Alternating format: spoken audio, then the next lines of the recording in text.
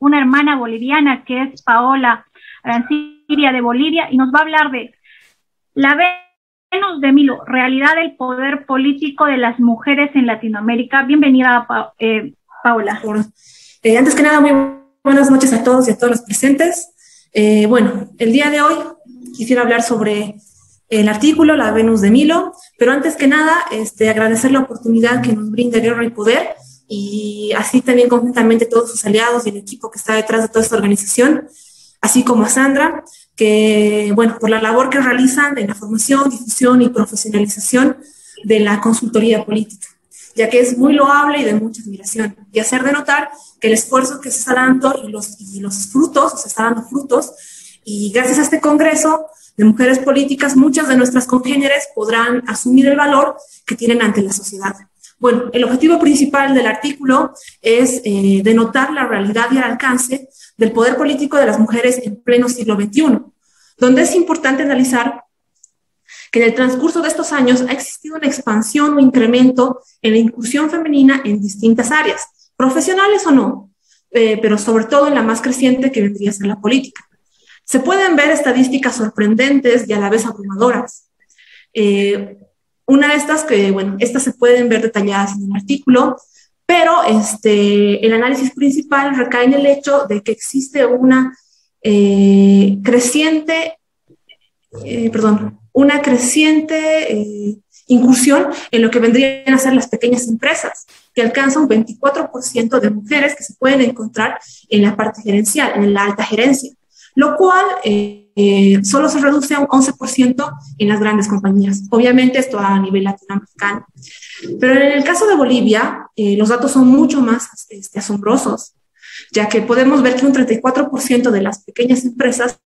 contemplan mujeres en la gerencia, lo cual se reduce hasta el 6% en las grandes compañías. Entonces, cuando vemos estos datos, todos nos preguntamos, ¿qué es lo que está pasando? Si supuestamente existe mayor campo de acción e integración de género,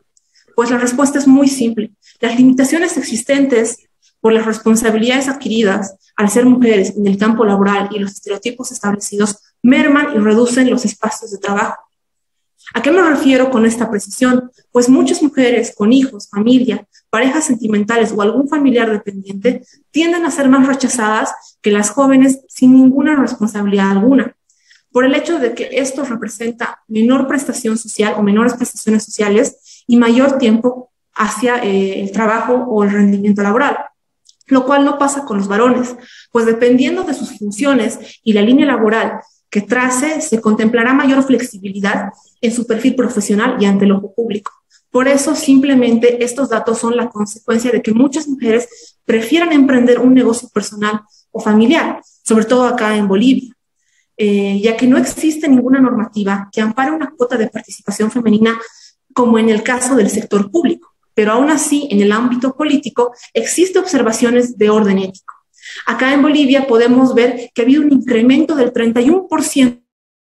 desde la aprobación de la participación paritaria del 2009 al 2014 en lo que vendrían a ser eh, cargos políticos, pero estos solo se encuentran en cámaras bajas y concejalías, lo cual nos lleva a un análisis concreto de los espacios habilitados para el desarrollo o desenvolvimiento personal y profesional de la mujer el cual está basado y enmarcado en la base operacional, o bien podría decirse supervisión o mediano alcance, pero difícilmente gerencial. Ahora, interpolando este análisis al ámbito político, estaríamos hablando de cabida en militancia, mitines, dirigencia regional, vecinal o parlamentaria, pero difícilmente se podrá alcanzar un poder de toma de decisión de gobierno o acción o cambio político directo, es decir, que las cuotas otorgadas al género femenino en un afán de democratización, por así decirlo, no llegan a ser orgánicos y muchas de las veces no tienen el alcance o el valor que podría eh, necesitar o requerirse porque no existe un respaldo partidario de su línea política. Y bueno, este accionar no solo se ve reflejado en lo que es la política nacional, sino también universitaria, porque se ha visto que muchas de nuestras compañeras se ven segregadas a lo largo de lo que es este, su periodo universitario en la parte política, porque solo son participantes de militancia o, o bien en la parte operativa. Si es que no tienen el talento para ocupar un cargo de relleno, o bien será el recambio de algún político universitario que este, obviamente ya tiene cierto recorrido político y su perfil no es el más apto para, un, para recandidatear. Lamentablemente somos formadas, adoctrinadas, con fines personales, y esto nos lleva al desgaste de las bases políticas femeninas, porque se llegan a desilusionar del papel que asumieron y las limitaciones para poder ascender en este ámbito, existiendo mucho talento e interés por parte de muchos jóvenes que realmente están interesadas. Y en realidad, acá en Bolivia, somos en las carreras de administración de empresas, contabilidad, este, derecho, ciencias políticas, medicina y demás, somos eh, más de la mitad de mujeres que llegamos a formar parte de estas instituciones académicas, pero aún así el poder político y la participación nos vemos segregadas muchas veces cansadas. Y bueno, en eso sí referencia a lo que es el título del artículo. Eh, muchas veces somos esculpidas y formadas de manera tan letalmente seductora, por así decirlo, con un propósito, pero sin ningún poder de decisión. Pero ante estas, eh, ante estas adversidades hay que tener en claro que podemos triunfar, obviamente con determinación, formación, temple, mucho, mucho temple, constancia y sobre todo sororidad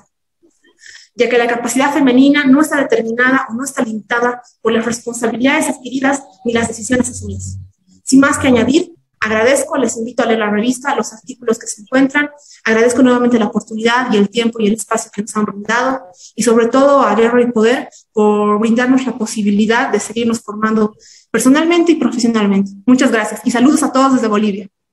Buenas tardes, buenas noches a todas y todos. La verdad que me siento completamente orgullosa de formar parte de este equipo de hombres y mujeres, especialmente mujeres, guerra y poder, por participar en este, permitirme participar en este segundo congreso. En relación a este artículo,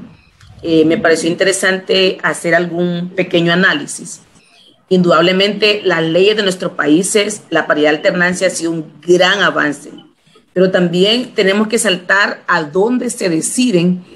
eh, realmente el poder que hemos visto nosotros en nuestros países. De hecho, en la estadística estábamos viendo que tenemos 21% de parlamentarias, 8% de, de, diputadas y tenemos paridad alternancia 50 y 50 y representamos el 51% de la población. Pero ¿qué es lo que realmente sucede? Todavía los que están liderando los partidos políticos son hombres, entonces necesitamos también accesar al, a la mera cúspide donde se reparte el poder, donde se deciden las planillas, donde se construyen las planillas, que en este momento sigue estando en manos de los hombres. Y la otra observación es que como sigue estando en las manos de los hombres esa decisión de qué candidata debe o no debe ir, regularmente no buscan las mejores candidatas con los mejores perfiles, porque temen ellos ser... Eh, desplazados de alguna manera por el liderazgo que genera la mujer en una comunidad. Entonces buscan candidatas con perfiles inferiores a los de ellos y de esa manera entonces pueden justificar y decir, bueno, es que las mujeres participan y no votan por las mujeres. Y además que eh, no dan ese espacio para el fortalecimiento de la capacidad de las mujeres, competimos en, desigualdad, porque el poder todavía está en manos de los hombres. Entonces no hace falta saltar a otro escenario, llegar a, a, las, a, los, a la escena donde se distribuye, se reparte el poder y se decide la política de cada país y de cada partido. Gracias, excelente.